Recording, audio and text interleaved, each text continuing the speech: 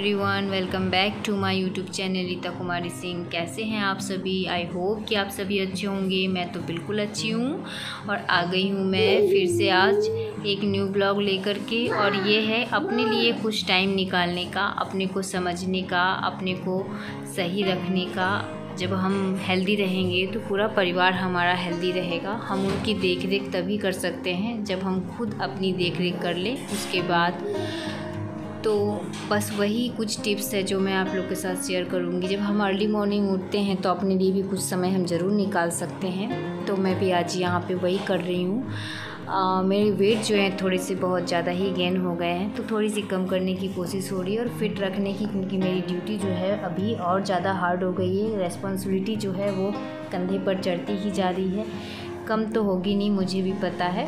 तो बस उसी रिस्पॉन्सिबिलिटी में अपने आप को स्ट्रॉन्ग बनाने के लिए उसमें और आगे बढ़ने के लिए मैं ये ये जो योगा है, वो मैं करती हूँ। तो आज मैं यहाँ पे अभी जो कर रही हूँ, वो सर्वांग आसन है, वो कर रही हूँ। ये आधे मिनट से लेकर के एक दो मिनट तक आप कर सकते हैं। और ये जो आसन है, अगर आप, विशेष कोई प्रॉब्लम हो तो थोड़ी सी और टाइम में, और टाइम हम लोग लेकर के कर सकते हैं। और कोई भी आसन या प्राणायाम जो है, उसमें श्वसन क्रिया जो है, वो सबसे ज़्यादा मायने रखता है। उसका ध्यान हमें अच्छे से रखना चाहिए।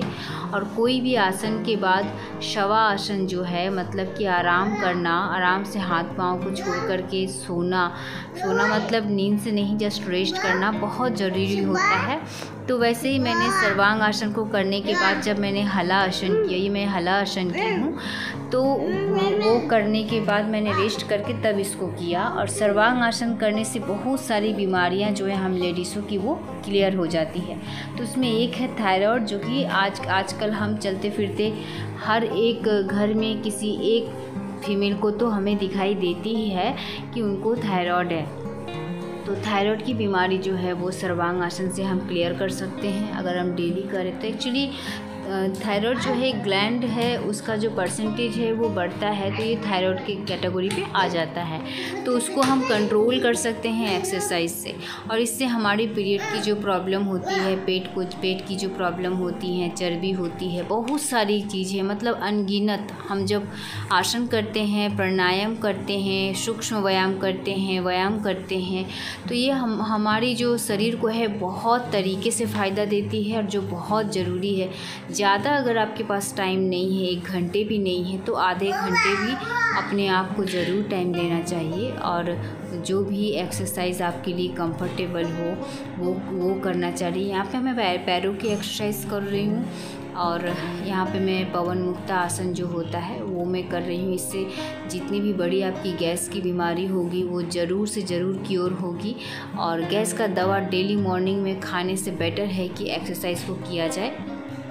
इससे गैस के साथ साथ दूसरी बीमारियाँ भी क्लियर हो जाएगी। हमारी चर्बियाँ भी कम होने लगेंगी। हमारी फ्लेक्सिबिलिटी जो है वो धीरे धीरे पूरा ठीक हो जाएगी। मेरा, हमारा बॉडी जो है बैंड नहीं हो पाता तो वो बैंड होना भी स्टार्ट कर देगा और हम किसी भी तरह से झुक सकते हैं। तो इससे जो है कभी कभी मसल्स में प्रॉब्लम आने लगती है, वो भी नहीं होगी।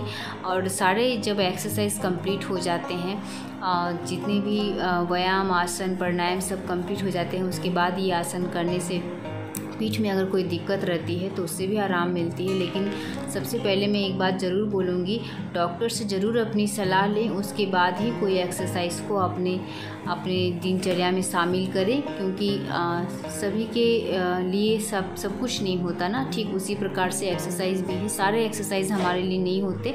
अगर हमारा किसी भी प्रकार का सर्जरी है या कोई किसी भी प्रकार की फिज़िकली कोई प्रॉब्लम है या कोई बीमारी है तो ज़रूर से ज़रूर पहले डॉक्टर से कॉन्टैक्ट करें और उनके कहे के अनुसार ही एक्सरसाइज को यूज़ करें और ऐसे खुद से स्टार्ट ना कर दें। अगर कोई ऑपरेशन वगैरह है तो उसमें कौन कौन सा एक्सरसाइज हो सकता है। प्राणायाम सभी में हो सकते हैं तो प्राणायाम ज़रूर किया कीजिए। लाइक अनुलोम विलोम जो है वो सभी कोई कर सकते हैं तो कुछ ना हो तो एटलीस्ट बैठ कर के दस मिनट अनुलोम विलोम भी कर लिया जाए तो वो कभी काफ़ी फ़ायदे देते हैं। और अभी जो समय चल रहा है, इसमें तो ज़्यादा ही फ़ायदा देता है। अभी जो मैं पाँव की एक्सरसाइज करी, इससे तो पाँव को प्रॉफिट मिलती ही है।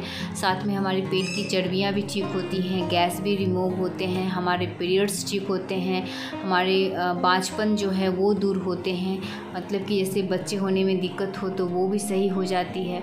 जब पीरियड सही रहेंगे तो बच्चे होने में दिक्कत तो वैसे ही नहीं होगी।